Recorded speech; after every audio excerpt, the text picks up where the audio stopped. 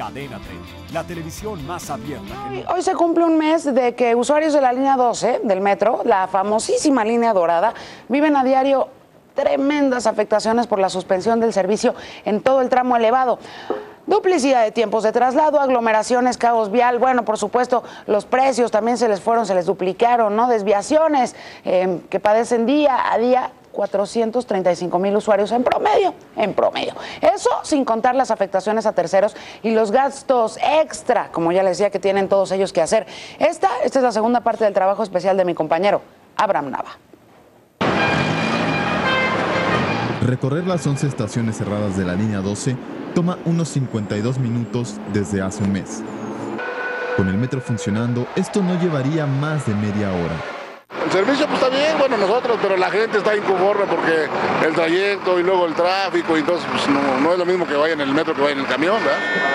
Mientras es reparada la línea que tuvo un costo de 26 mil millones de pesos y fue construida por el consorcio Ica Carso Alstom, la red de transporte de pasajeros realiza trayectos gratuitos en los 25.1 kilómetros de vías afectados. Lo que estamos contentos es que las rutas que teníamos, el pasaje que realmente ocupa diario este servicio, lo dejaron sin, sin servicio, lo dejaron abandonado para dar servicio aquí, eventualmente nada más. Alrededor del corredor de Tláhuac también hay otros afectados. Por la mañana, el congestionamiento vial es en dirección a Tlalilco. Pues mucho porque de hecho yo me levantaba más tarde y de hecho me iba en el metro. Y ahora pues tenemos que levantarnos más temprano, pues, este, venir en el auto. Sí, es más complicado. Por la tarde, de Atlalilco al paradero de Tláhuac.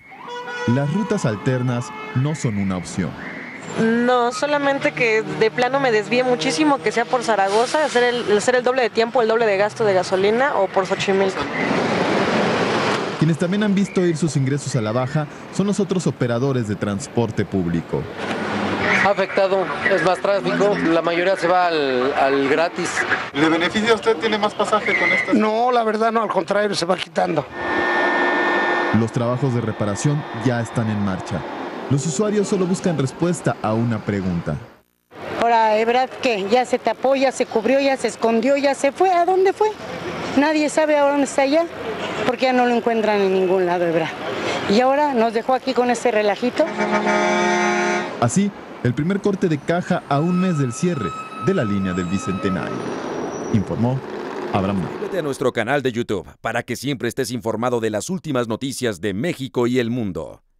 Empieza ahora mismo dándole clic a estos videos.